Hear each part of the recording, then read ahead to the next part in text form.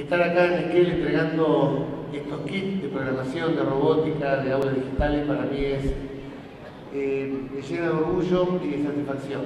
Porque darles estas herramientas a los chicos para que aprendan, aprendan jugando, en el cual se les incentive el desarrollo y por sobre todas las cosas tenemos al alcance de sus manos la tecnología. Para nosotros esto es un trabajo conjunto que venimos haciendo con el Ministerio y también con el Ministerio de Nación. Hemos estado, entregando en distintas localidades y aquí en Esquel estamos entregando más de 20 escuelas estos kits. Por eso para todos ustedes, para los docentes, para los directores, para los niños, estas herramientas que podemos acercar y poder estar así en sintonía con el siglo XXI, con todo lo que va a venir para nosotros es muy importante. Más hoy como, viene algunas políticas en cuanto a, políticas públicas a la educación.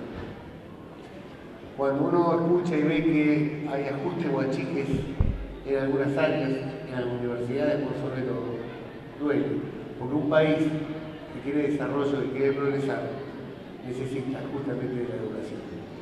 Por eso lo que está ocurriendo hoy en la universidad no es grande.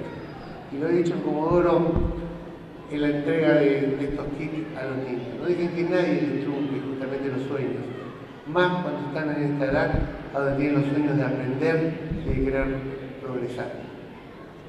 Por eso, para todos ustedes y a ustedes, a los docentes, a los directores, primero les quiero agradecer la comprensión en estos meses que hemos tenido de muy difíciles.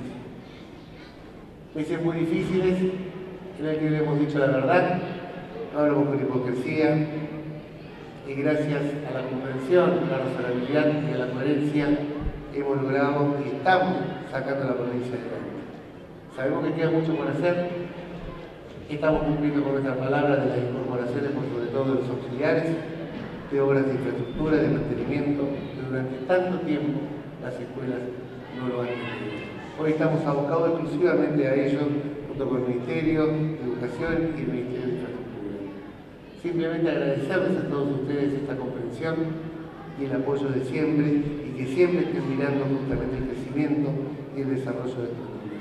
Al señor Intendente también agradecer, porque muchas veces cuando la provincia en alguna urgencia no pudo dar una respuesta inmediata, en algún problema de infraestructura, de gas, de las escuelas o de limpieza y demás, el señor Intendente dar una respuesta. Mirando más allá de cuestiones políticas partidarias. De eso se trata. Intendente lo eligieron para conseguir lo mejor para su ciudad y a nosotros lo mejor para la provincia. Y cuando estas políticas bien entendidas y sin mezquindades pueden trabajar, bienvenido sea para toda la comunidad. Después habrá tiempo de elecciones, pero esta es la realidad. Simplemente a todos ustedes, a Esquel en especial, muchísimas gracias.